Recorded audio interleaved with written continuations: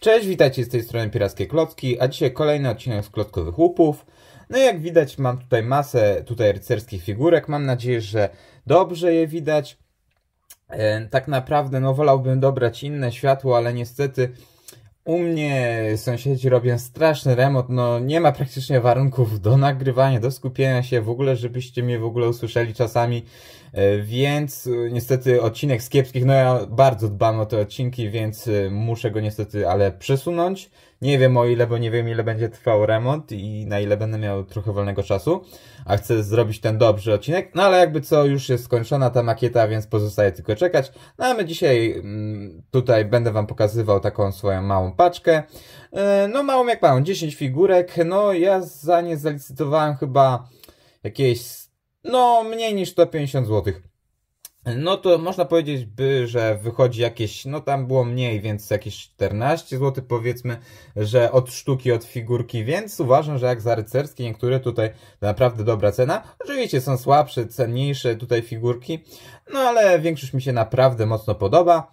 E, no i przechodzimy do oglądania. Pierwszy tutaj rycerz, e, taki tutaj, no widać, że taka waleczna mina, chociaż te mm, nóżki to akurat e, nie są w ogóle z rycerskiej serii, tylko jeśli mi się dobrze wydaje, to z serii LEGO Space Police. Mm, no i kurczę, ciekawe, ciekawe. E, no akurat je, te nóżki sobie wykorzystam może w jakiejś cyberpunkowej makiecie kiedyś. W ogóle bym bardzo chciał taką jakieś zbudować taką mega dużą makietę cyberpunkową. No i pod torsem ma tu taki piękny nadruk e, tych rycerzy smoka. Ja naprawdę mam ich dużo. No kurczę, muszę naprawdę coś po, e, jakoś pokminić, jakoś rozbudować te swoje armie rycerskie. No i tutaj jeszcze jest piękny nadruk z tyłu. No i nie wiem, czy już o tym wspominałem, ale jeszcze jest alternatywna buźka. Taka, no poważna, taka według mnie przed bitwą. E, dalej, figurka starsza, no już, znaczy, mm, tak ciężko powiedzieć, bo to jest taki trochę składak, ale niestety już trochę gorszym stanie. Tutaj jeszcze póki co kamera nie jest w stanie go złapać ostrości. No taka jest właśnie urok czasem. O! Mm, no ale dobra, już jest dobra ostrość. No, niestety tam, nie wiem, czy on miał tutaj usta, czy może jeszcze taką mniejszą brudkę. W każdym razie jest trochę rozmazana, z daleka nad tego nie widać. E, no i według mnie on bardzo przypomina mi, nie wiem, czy ktoś oglądał taką starą bajkę o nazwie Arabella. No i tam właśnie był, pamiętam, taki chyba czarodziej Vigon się nazywał. No i właśnie ten czarodziej, pamiętam, że miał bardzo podobnego wąsa i naprawdę ten, ta buźka mi go przypomina. Sama zbroja jest naprawdę tą orkową zbroją. O matko, jak tylko słyszę słowo ork, bardzo mi się przypomina yy, piosenka ta gotikowa Orkowie palą, orkowie depczą, tam taka już dosyć stara piosenka, ale no ja ją uwielbiam. No ja bardzo lubię gotika, szkoda, że jeszcze nie udało mi się przejść drugiej części, no ale może kiedyś. Dobra, niech sobie przewracają się reszta tutaj rycerzy. No i tutaj taki ma nadruk pod torsem, chyba nie ma w ogóle alternatywnej drugiego, drugiej strony, w sensie, że ma tutaj niezadrukowany torsik. No ale naprawdę pierwszy jest fajnie zadrukowany. On chyba oryginalnie pochodził od figurek wikingów. Ja w sumie nie, nie wiem czemu, znaczy już chyba jakiejś armii nie będę tutaj powiększał o ten torsik, będzie to po prostu chyba jakiś mój wiking, bo jak ja nie wiem co zrobić z jakimś torsem rycerskim, po prostu buduję wikingów sobie, taką własną małą armię. E, dalej, mamy tutaj takiego rycerza. Ja właśnie miałem trochę kryzys tych rycerzy takich ciemno-niebieskich, z tym rycerzem tej królewskiej korony. E, tak naprawdę ja ich dodawałem, bo, znaczy tak dodawałem, miałem tylko jedną sztukę, więc po prostu dodawałem go, jako robiłem e, jako króla e, falconów, no bo ta kolorystyka jest podobna. Teraz już chyba tak nie będę robił, teraz to chyba będą jakimiś wrogami w moim legowym świecie. No i niestety kamera nie chce się wyostrzyć. Kurczę, co to dzisiaj się dzieje? Dobra, jest. E, Buźka naprawdę zagniewana, troszeczkę przypomina mi kapitana Rexa z Gwiezdnych Wojen, tylko niestety ma żółty kolor. Znaczy, no, urok po prostu rycerskich figurek. No i fajny ten hełm, taki e, bardzo mi się kojarzy z Wiedźminem, nie wiem czemu. No i to niestety jeszcze nie są czasy, kiedy tylny tutaj torsik był nadrukowywany. No, szkoda. E, no i tutaj tak nie biorę tych figurek po kolei, od razu wam mówię. Królowa, no piękna figurka. Co prawda korony brakuje, ale chyba jakąś mam, jeżeli dobrze pamiętam, więc jej mogę tutaj dodać. No i naprawdę pięknie wygląda, będzie mi pasowała ładnie do tego króla e, lwów. No i tutaj kolejny kolo tutaj z tą tarczą tutaj rycerską, znaczy zbroją z tym, no, nie mogę się jakoś wysłowić, z tą koroną na torsie, na przodzie. No i z tyłu nie ma nadruku na tej zbroi, no ale pod torsem jest jeszcze tutaj taki epicki, naprawdę bardzo mi się podoba torsik. O, już pokazuję. No i dzisiaj ta ostrość coś nie działa. W tle widać figurki, a z daleka nie.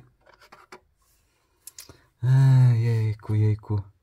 O, piękny torsik tutaj na 3. Ja chyba przerobię tutaj, znaczy wykorzystam ten torsik, nie będę już innej figurce nastawiał tego, tego torsika.